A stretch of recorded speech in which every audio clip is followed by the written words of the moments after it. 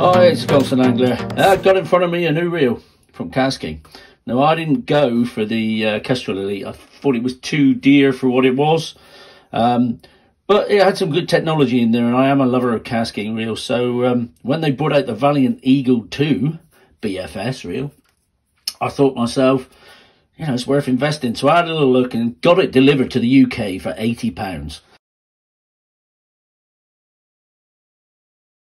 So uh, here's the box. Let's open it up and have a little look. We're going to do some comparisons to other reels.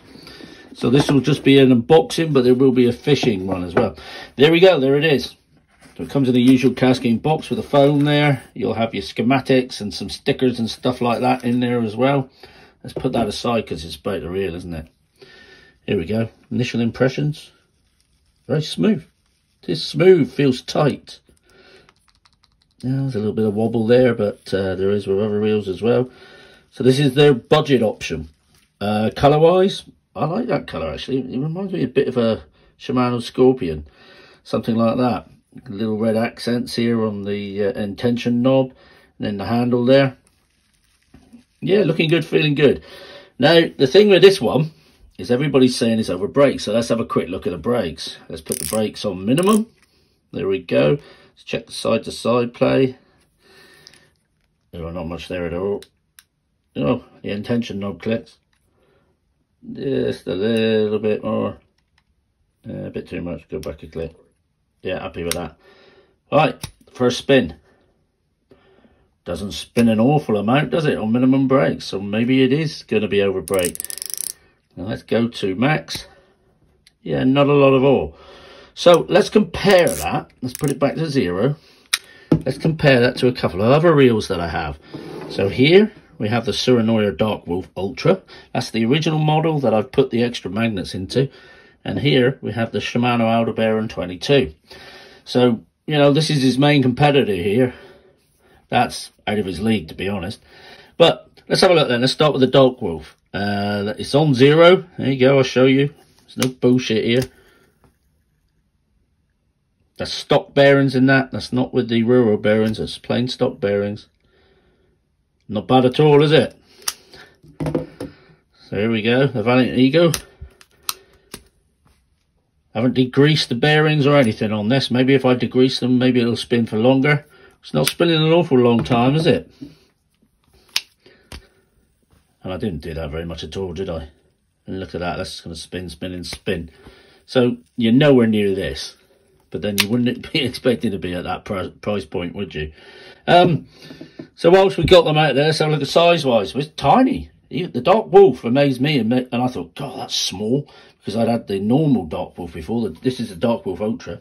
So size-wise, it's smaller. You can you can clearly see that there with the frame. Handle looks about the same size, maybe a tad smaller, actually.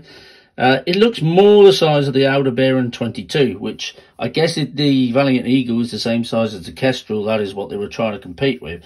They've just got a carbon frame on this instead of a magnesium frame. Uh, there's a lot of technology from the Kestrel in there, though. So we'll get into that in a minute. But yeah, so far, initial impressions, I like the look of it. Feels very tight. All good like that. But the spool spin and the brakes, they do look a bit over braked.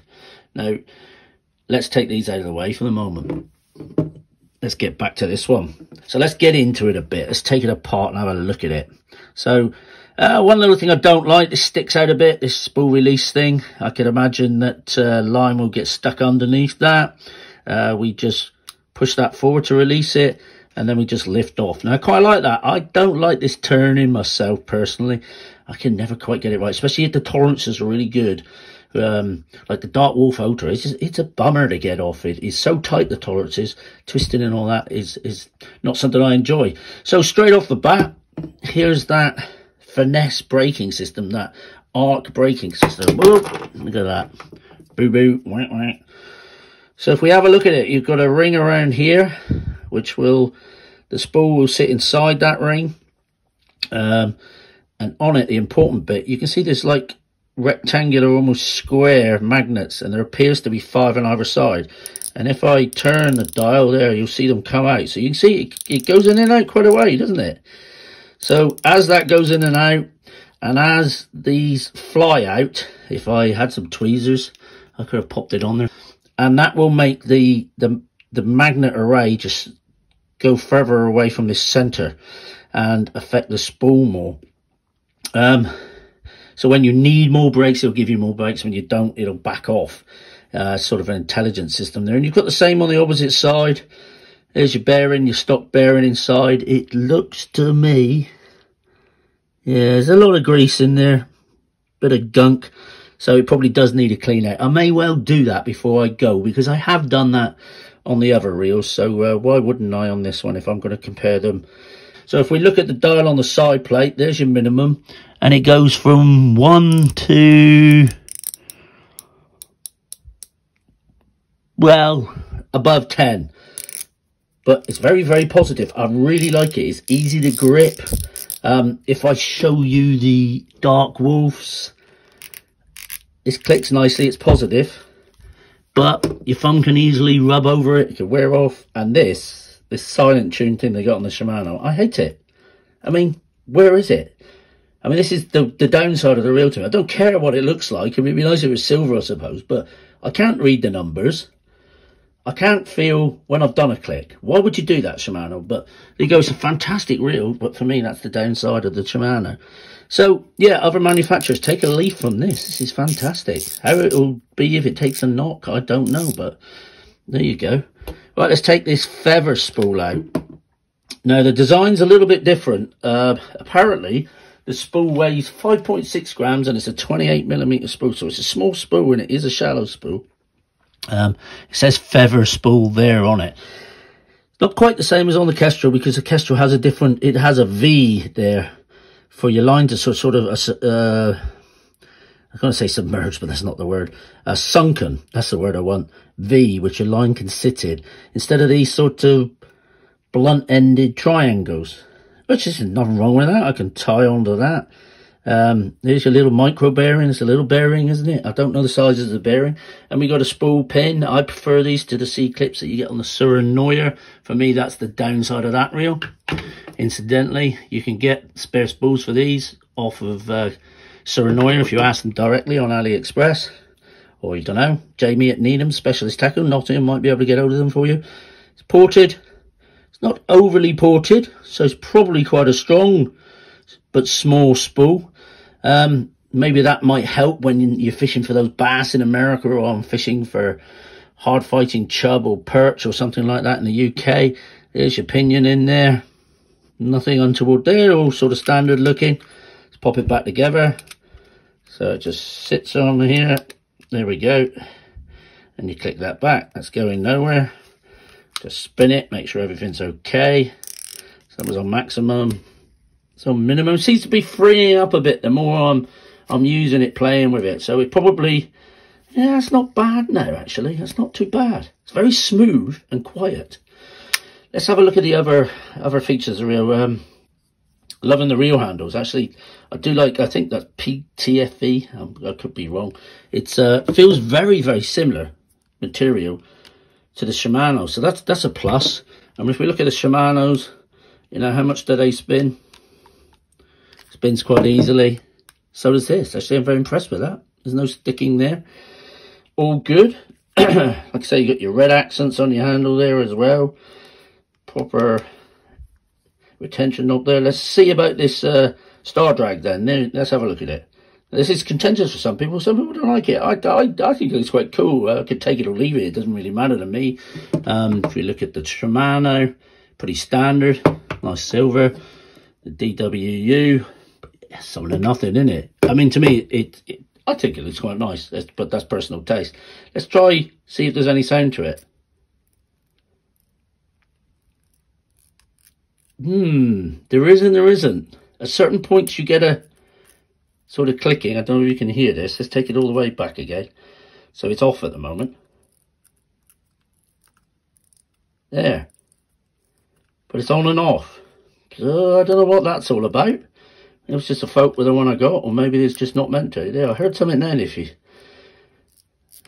Yeah, and it's there again then, but it, no, it's, it's, it's not a clicker on it. I wouldn't say, I couldn't say that has a clicker. The intention knob, yeah, very audible. Uh, let's take the drag off and see what the drag sounds like. Yeah, quite precise. Not particularly loud. Let's compare it to the DWU. Let's get my fingers right. I don't know what I'm doing here. Not so precise, but louder. Bit duller, but louder. Shimano. Well, you can hear this. The adjustment on it is something else, isn't it? Beautiful. Precise and loud. Now, I like that. Maybe some people that annoys, but for me, I prefer that. Um, right, so where did we get to? The drag. Yeah, it's there. It works. How much does it lock up? Does it lock up tight? Yep. All right, let's have a look at the uh, spool button. Thumb bar. Any hint of wiggle there? Little, little bit of play. Always like to compare these to other things. There's a bit of play there. A lot more play on the DWU. Um, with the Star Drag, this appears more solid than the DWU, which is, is decent reel, you know. I mean, you've seen my reviews I've done of it. A lot of people, it, it's proven it's a beautiful reel. Uh, let's have a look at the conical. Hopefully you can see down in there. There you go. Conical line guide. Yeah, like that. Nice and big. Not as big as the Shimano's. But, yeah, much bigger than the DWUs. So, there's a plus point for you. Uh, how's it palm? How's it sit? Well, if I'm fishing it, I'm like that. It sits on here. Nothing gets in the way of anything. No, yeah, happy with that. Sometimes this can catch on your fingers. Uh, let's have a look at some. Uh, so the gear ratio is 8 to 4 to 1, which I've already said uh, can't remember how many inches now, 29.8 inches per turn of the handle. Uh, some 0.8 PE, 0.14 millimeter. Don't quite equate those two if you ask me. Uh, 150 meters, 1 PE, 0.16 millimeter, 115 meters. Um, it's all immaterial to me because I put 50 meters of line on all my BFS reels. If you want to fill it up more than that, you can. You'll lose a bit of control with your lightest of lures. Uh, you'll get more bird's nests. It, it all feels very positive other than that star drag, which, you know, people don't like the look of, but you can hear it there, but it comes and goes. I think mine's a little bit faulty like that. Uh, it's not going to trouble me.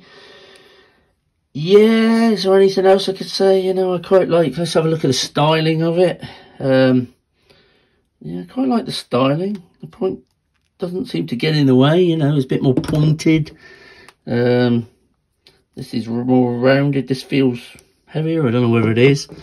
Uh, let's have a little comparison of the last BFS reel, the very first one they made, or one of the first. The uh, Zephyr. And this is a great reel. It's been proven. The only thing downside I have, well, I love this dial. Love the colour, the look of it. It's quite heavy. Um, I didn't find it had a huge range I could use on the dial, and this is what I'm suspecting this might be like. So when I have a, a reel, I like to, you know, if this is giving me all of this range here, I like to, when it's all set up and say I'm chucking a three and a half gram lure or something like that, a little jerk bait, I like it to be about halfway. And then I can use my brakes. I can take it off a bit. So somewhere down around here, I can take it off a little bit if I want to go a little bit further, I can put a bit more on if the wind's there. But if I find using light lures or whatever weight lures, I'm down near the minimum or up near the maximum, I've not got much range of, of uh, brakes to use to adjust to to the day, to the conditions on the day. That's what I'm trying to say. All the different weights of lures that it might be able to throw.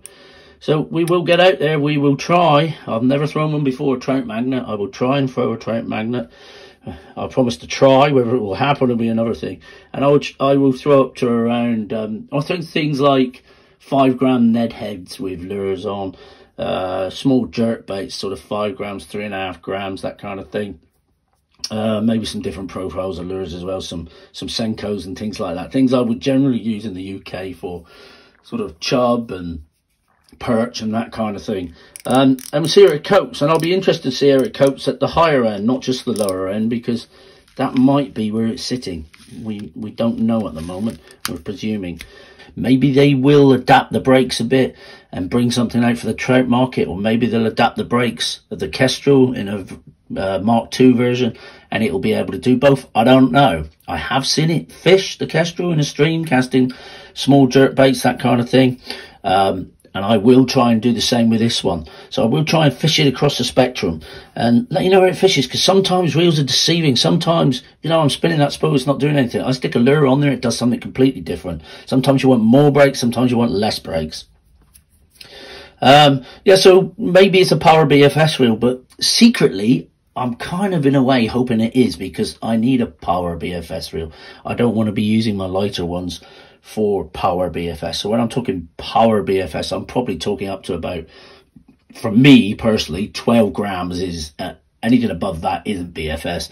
Uh, a lot of the elitists don't like the term power BFS, but it's it exists. It's something we want to do, so why not?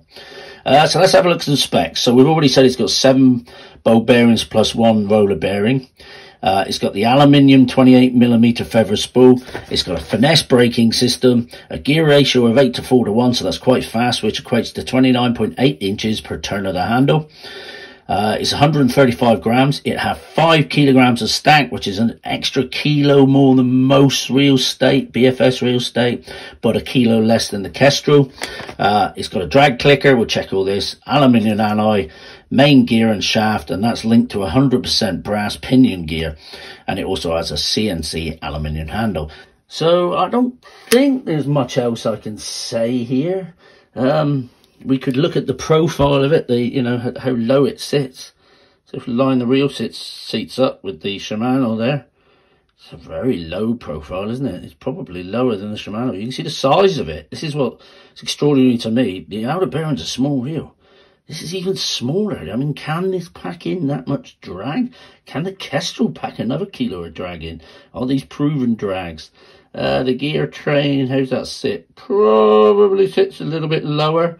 Uh, handle size compared there, pretty much identical. Um, so this might prove to be a good buy. Um, I'm hoping it will. Uh, the price point to me is what KastKing is all about. When they're trying to compete with Shimano, etc. Um, the problem they have is they bring out a reel, it's a hundred pounds or so cheaper than the Shimano that's been brought out. But then what Shimano do is they drop the price or you can get it on sale somewhere like people talk about Digitaka in the States, don't they? It's online Japanese company. You can use them in the UK as well. Um, and they bring the price down by half that. So then you're paying £50 more for a Shimano rather than the Kestrel. Now what they've done is I've got most of the technology, other than a few penny saving measures like a few less bearings and not a carbon fiber uh, handle, but mainly the magnesium frame, uh, I've lost. I think that makes it that much more functional as a casting fishing reel. Um, the luxuries, as I would say. And I've got that technology in a little small, small package, value package, I'm hoping. So we'll leave it at that for the moment. We'll get out on the bank and give them all a go, compare them, uh, and see how we do. I hope that helps you. Maybe it's confused you some more. I'm sort of, you know, I haven't seen the light yet. I want to see what it does out on the bank. Cheers, the Constant Angler. Uh, catch you later. Please like and subscribe. Hit the notification bell if you're that keen. If you're super keen, uh, give us a thanks. Uh, spread the word. If you want to put a special comment on and want me to highlight it, the thanks button's there for that as well. Don't want to push that too much because it sounds like begging. Times are hard, but maybe this reel will save you some money. Cheers for now. The Constant Angler.